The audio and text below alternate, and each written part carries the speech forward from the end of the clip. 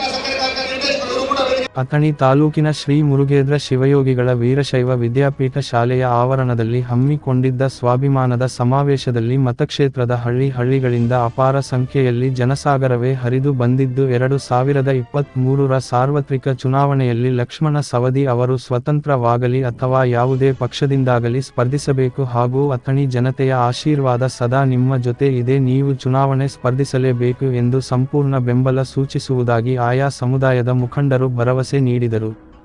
ಸಮಾವೇಶವನ್ನು ಉದ್ದೇಶಿಸಿ ಮಾತನಾಡಿದ ಮಾಜಿ ಉಪಮುಖ್ಯಮಂತ್ರಿ ಲಕ್ಷ್ಮಣ ಸವದಿ ಅವರು, ರಾಜಕೀಯ ಜೀವನದಲ್ಲಿ ತಾವು ನಡೆದುಕೊಂಡು ಬಂದಿರುವ ದಾರಿ ಹಾಗೂ ಪಕ್ಷದಲ್ಲಿ ತಮಗೆ ಆಗಿರುವ ಅನ್ಯಾಯವನ್ನು ಎಳೆ ಎಳೆಯಾಗಿ ಬಿಡಿಸಿಟ್ಟರು ಹಾಗೂ ನಾನು ಬಿಜೆಪಿ ಪಕ್ಷ ಮತ್ತು ವಿಧಾನ ಪರಿಷತ್ ಸದಸ್ಯತ್ವಕ್ಕೆ ರಾಜೀನಾಮೆ ನೀಡುತ್ತೇನೆ, ನನ್ನ ಮತಕ್ಷೇತ್ರದ ಜನತೆ ಹೇಳಿದ ಹಾಗೆ ಜೆಡಿಎಸ್ ಹಾಗೂ ಕಾಂಗ್ರೆಸ್ ಎರಡು ಪಕ್ಷದ ನಾಯಕರ ಜೊತೆ ಚರ್ಚೆ ಮಾಡಿ ಯಾರು ನನ್ನ ಮತಕ್ಷೇತ್ರದ ಅಭಿವೃದ್ಧಿಗೆ ಕೈ ಜೋಡಿಸಲು ಮುಂದಾಗುತ್ತಾರೆ, ಆ ಪಕ್ಷದ ಜೊತೆ ಕೈ ಜೋಡಿಸುತ್ತೇನೆ ಎಂದರು.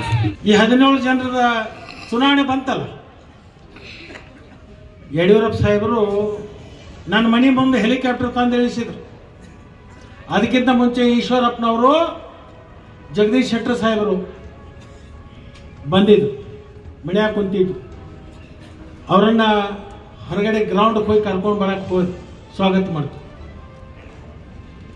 ಹತ್ತು ನಿಮಿಷ ಅಲ್ಲೇ ಒಬ್ಬ ಯಾವುದೋ ಅಧಿಕಾರಿ ಇದ್ದ ಅಲ್ಲಿ ಮಾತಾಡ್ತಾ ನಿಂತ್ರ ಐದು ನಿಮಿಷ. ಎಲ್ಲಿ ಹೋಗೋದು ಇಲ್ಲೇ ನನ್ನ ಮನೆ ನಡಿ ಮನೆಗೆ ಬಂದರು. Dining table. ಒಂಬತ್ತುವರೆ ಹತ್ತು ಗಂಟೆ. ಅವರಿಗೆಲ್ಲ ಉಪಹಾರ ಹಚ್ಚಿದೆ. ಉಪಹಾರ ಮಾಡಿ ಸರ್. ಗಪ್ಪ ಕುಂತು. ಯಾಕೆ ಮಾಡ್ತಾ ಇಲ್ಲ? ಒಂದು ಕುರ್ಚಿ ತಗೋ ಬಾಜು ಕುರ್ಚಿ ತರಿಸಿ ಬಾಜು ಕುಣಿಸ್ಕೊಂಡ್ರು. ನಾವು ಉಪಹಾರ ಮಾಡಬೇಕಾದ್ರೆ ಒಂದು ಕಂಡೀಷನ್ ಏನು ಸರ್? ನೀನು, ಕಾಗವಾಡ ಮತ್ತು ಅತನಿ ಎರಡೂ ಗೆಲ್ಲಿಸ್ಬೇಕು ಗೆಲ್ಸ್ ನನ್ನ ಕೈಲಾದ ಪ್ರಯತ್ನ ನಾನು ಮಾಡ್ತೀನಿ. ಯಾವತ್ತೂ ಪಕ್ಷಕ್ಕೆ ದ್ರೋಹ ಇಲ್ಲಿ ತನಕ ಮಾಡಿಲ್ಲ ಮುಂದೂ ಮಾಡೋದಿಲ್ಲ. ಬೆಂಡಿ ಚೂರಿ ಹಾಕೋ ಕೆಲಸ ನಾನು ಮಾಡೋದಿಲ್ಲ. ಶೆಟ್ರೆ, ಈಶ್ವರಪ್ಪನವರೇ, ಇಲ್ಲಿ ಕೇಳ್ರಿ. ಅವಾಗ ಈಜುಗೌಡ ಪಾಟೀಲ್ ಸಾಕ್ಷಿ ಅದು. ಬಬಲೇಶ್ವರದವ್ರು. ಅವನು ಕೂತಿದ್ದ. ನಿಮ್ಮೆಲ್ಲರ ಸಮ್ಮುಖದಾಗ ಒಂದು ಮಾತು ಕೊಡ್ತೀನಿ. ಲಕ್ಷ್ಮಣ ಸವದಿ ಇವರಿಬ್ಬರನ್ನು ಆರಿಸ್ಕೊಂಡು ಬರೋ ಜವಾಬ್ದಾರಿ ಅವ್ನು ತಗೋಬೇಕು. ಎರಡು ಸಾವಿರದ ಇಪ್ಪತ್ತ್ ಮೂರನೇ ಇಸ್ವಿಯಲ್ಲಿ ಲಕ್ಷ್ಮಣ ಸೌದಿನೇ ಈ ಕ್ಷೇತ್ರದಿಂದ ಸ್ಪರ್ಧೆ ಮಾಡಬೇಕು ಅಂತ ಹೇಳಿ ಇದು ನನ್ನ ವಚನ ಅಂತ ಹೇಳಿ ಯಡಿಯೂರಪ್ಪ ಸಾಹೇಬ್ ಹೇಳಿ ಇದನ್ನ ನಾನು ಎಲ್ಲಿ ನಿಂತು ಹೇಳಾಕತ್ತೇನೆ ಅನ್ನೋದು ಖಬರ್ ನನಗೆ.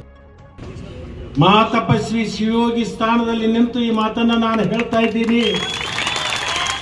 ಸಮಾವೇಶದಲ್ಲಿ ಸೇರಿರುವ ಹಲವರು ಲಕ್ಷ್ಮಣ ಸವದಿ ಅವರಿಗೆ ಸತ್ಕರಿಸಲು ಹೂವಿನ ಹಾರ ಹಾಗೂ ಶಾಲಗಳನ್ನು ತಂದಿದ್ದು ಸನ್ಮಾನಕ್ಕೆ ಆಸ್ಪದ ಕೊಡದೆ ಅವರು, ನಾನು ಈ ವೇಳೆ ಯಾವುದೇ ಕಾರಣಕ್ಕೂ ಸನ್ಮಾನ ಸತ್ಕಾರ ಸ್ವೀಕರಿಸುವುದಿಲ್ಲ. ನಾನು ಚುನಾವಣೆಯಲ್ಲಿ ಜಯಶಾಲಿಯಾಗಿ ಬಂದ ಮೇಲೆ ಸನ್ಮಾನ ಮಾಡಿ ಇಲ್ಲವಾದರೆ ನನ್ನ ಹೆಣದ ಮೇಲೆ ಹೂವನ್ನು ಹಾಕಿ ಎಂದು ಹೇಳಿದರು.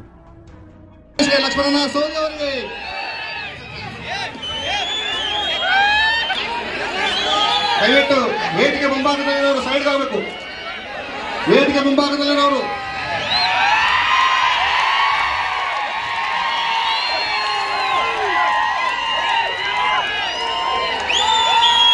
ಲಕ್ಷ್ಮಣನ ಸೌದಿ ಅವರಿಗೆ ಹಸಿರು ಕ್ರಾಂತಿ ಅಧಿಕಾರ ಲಕ್ಷ್ಮಣನ ಸೌದಿ ಅವರಿಗೆ ರೈತ ಬಂದು ಸನ್ಮಾನಿಸಿ ಲಕ್ಷ್ಮಣನ ಸೌದಿ ಅವರಿಗೆ ಬರದ ನಾಡಿನ ಬಳಿಕ ಸನ್ಮಾನ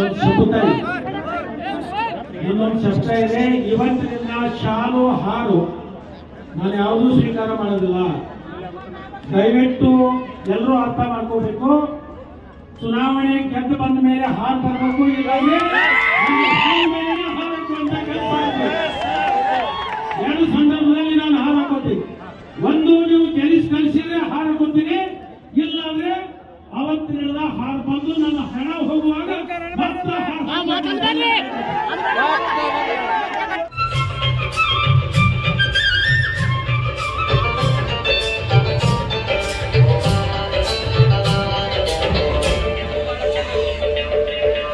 你别说